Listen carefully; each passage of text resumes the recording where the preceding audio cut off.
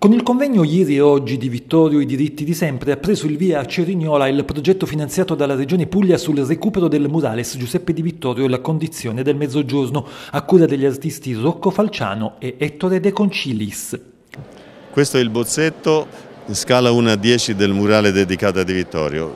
Qui si vede esattamente una massa contadina operaia e il ritratto di Di Vittorio sulla destra. Si tratta di un omaggio che fu fatto a questo grande cerignolese, questo grande italiano, una delle figure più importanti del nostro Novecento. Eh, L'opera è alta 12 metri, era alta 12 metri, subì un attentato negli anni 70, eh, un attentato che, che danneggiò molto eh, questo pannello e anche gli altri. Il compito di questa amministrazione io eh, lo apprezzo, sta cercando di ridare la luce a questo lavoro.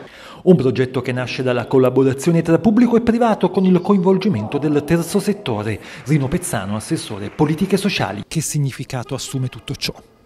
assume un significato importante e storico per la nostra città. Avevamo preso un impegno in campagna elettorale, lo stiamo mantenendo, cioè che è quello di riconsegnare un monumento che ha rappresentato la storia della nostra città a Cerignola. Lo faremo il 3 novembre quando ricorreranno i 60 anni dalla morte di Giuseppe Di Vittorio. Inizia oggi un percorso di accompagnamento a quella data che prevederà una serie di eventi, una serie di, di contenuti che naturalmente daranno lustro alla figura di Giuseppe Di Vittorio.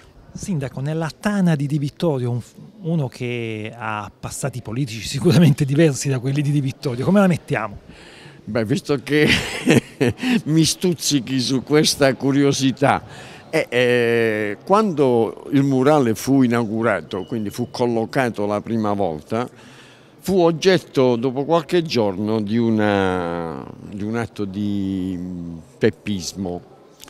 In buona sostanza contro il murale furono sparati alcuni colpi di pistola e i sospettati furono Franco Metta e Salvatore Tatarella, ovviamente non c'entravamo nulla, però lo ricordavo all'avvocato Lepore, alla capogruppo della Cicogna in Consiglio Comunale, la, ecco, il paradosso. Poi dopo Metta, lo stesso Metta, sindaco, insieme con tanti altri che hanno collaborato, va a recuperare quest'opera d'arte, ma al di là adesso delle delle battute, delle curiosità che poi però sono anche divertenti e interessanti.